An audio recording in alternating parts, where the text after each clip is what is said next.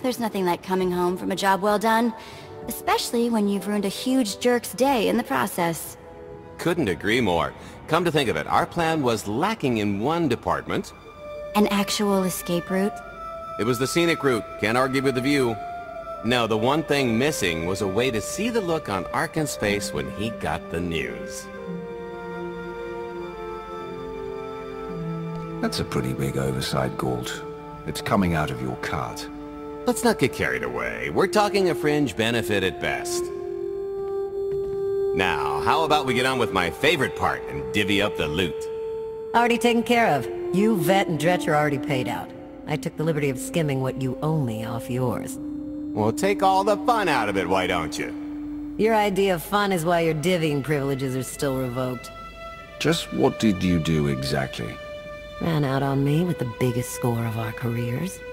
And I regretted it ever since. Well, after the shine wore off. A little older, a little wiser, you know? Okay, maybe a lot older. It was a formative moment. The point is we're onto bigger and better things. Like melting a mint down into an ocean of liquid happiness.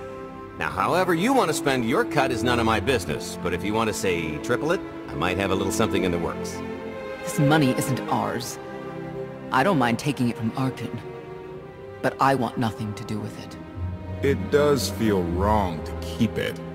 Our goal was to fund the Alliance, not personal gain. Who says it can't be both? You just need a little ambition. Or, you know, you could try giving. Maybe just once. See what you've been missing.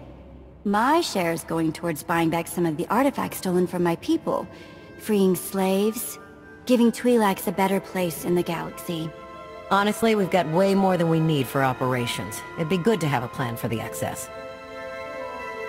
I'd like to distribute our surplus back to the worlds Arcann plundered. I don't care how. A fruitless gesture. That wealth will return to the Eternal Empire so long as they remain in power. People are suffering out there. What are we doing if not trying to help them? If you are confused, our objective is not to alleviate suffering. It is removing the Eternal Empire from power.